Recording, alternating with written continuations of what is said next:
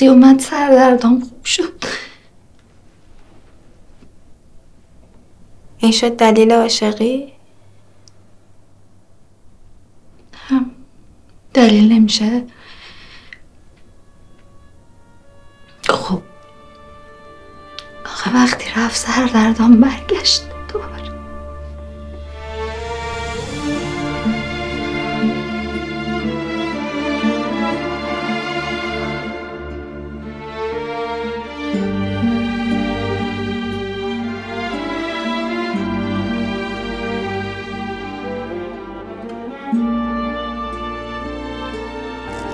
ناراحت میشی از آدم. بنده باید خفه شه. بنده باید دهنشو ببنده. هیچی نگه هیچی نخواد تو خوبی فقط تو خوبی. من بدم. اصلا من گناهکاریم آینده فیلمی از امیر پورکیان.